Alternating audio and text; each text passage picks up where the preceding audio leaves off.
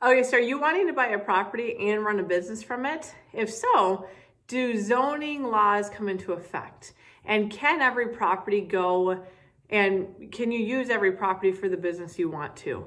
The answer is zoning makes a huge difference and you may or may not be able to use that certain property for the business you wish.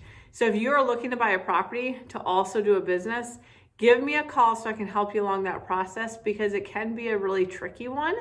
My number is 608-574-9145.